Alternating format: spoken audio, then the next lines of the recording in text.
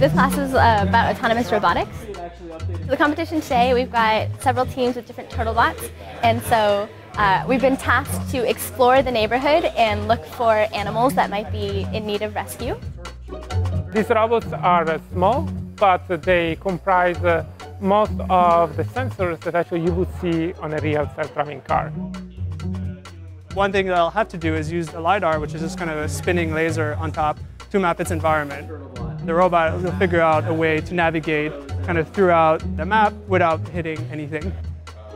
At the same time, while it's building up the map, it's also localizing the animals. So it's using the cameras and machine learning to determine what objects are what.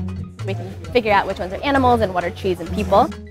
We made sure that the base requirement of the project were kind of small and that everyone could tackle them, but then give time to students to kind of develop their own extensions. So some teams are able to react intelligently to a bicycle crossing the road.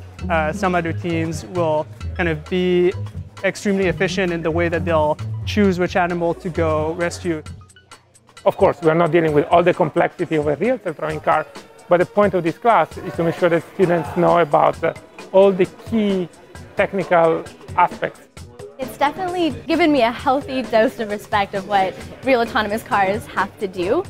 Here, it's funny when we mess up and like misclassify something, but in a real world situation, there can't be any of these mistakes or any of these miscalculations.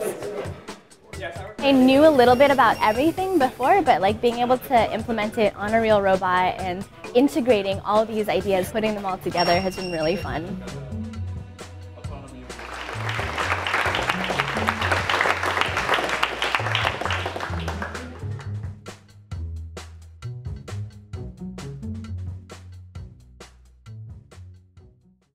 For more, please visit us at stanford.edu.